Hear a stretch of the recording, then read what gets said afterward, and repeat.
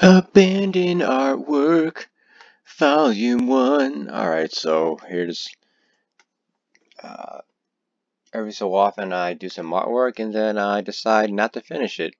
Uh, reasons vary, but uh, this is uh, this is uh, definitely one of those cases. Um, I try to I try to challenge myself with a colored pencil drawing and uh, and it was with two people instead of one person which is always challenging no matter what so.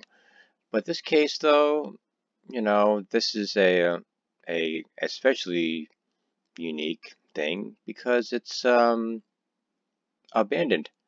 Yeah so you know I did skin tone and this is me doing hair and then uh, and then I'll do cloth in a second Okay, two seconds.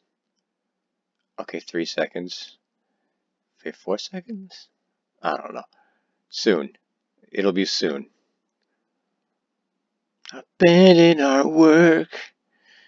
Coming down the street. Okay, so here it is. Yeah, so uh, nothing gives me more pleasure than starting something, spending weeks on something, and then saying, fuck it. You know, I don't care anymore. So, yeah, that's it. So I thought I would share that with you. Bye-bye. Oh, wait. It is still going. Okay.